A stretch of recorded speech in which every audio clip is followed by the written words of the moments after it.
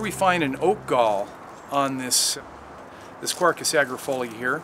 It used to be believed that this was a disease that the tree caught and suffered from. But what we find in truth is, is that the oak gall is produced by the tree itself. The inoculation of a hormone from the insect causes the swelling in the stem in which the symbiotic wasp nests.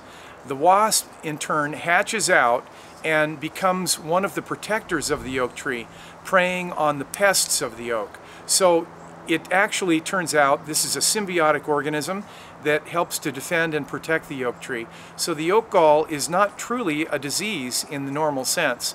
It's an organism that is hosted by the oak to protect itself.